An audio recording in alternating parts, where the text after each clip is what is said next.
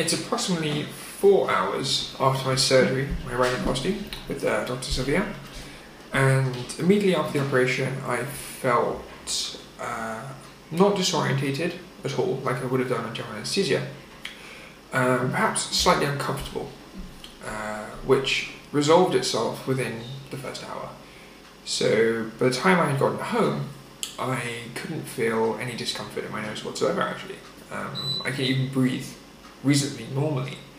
Uh, I had experienced some mild uh, bleeding, uh, requiring that I replace the gauze, but um, Dr. Silva gave me a call on the phone and reassured me this was reasonably normal. Uh, the pain is completely manageable.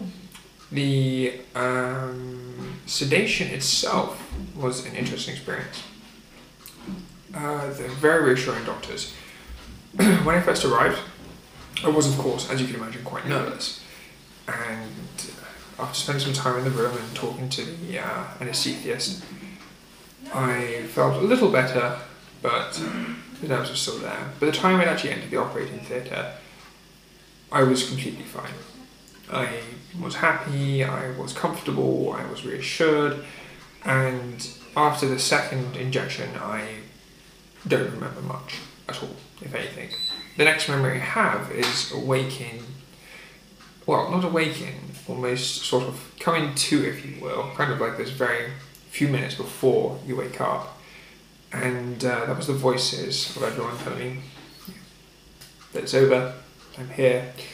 And uh, a few moments after that, I my orientation and uh, bearings back again. I was picked up and driven home. So far, very happy. Uh, as you can see, I have almost no bruising whatsoever. Tiniest amount there, but otherwise I'm completely unbruised. And the swelling, while hard to gauge with all of the bandages, does not look substantial. So, so far it's uh, been a fantastic experience, and I'll update again tomorrow. Thank you.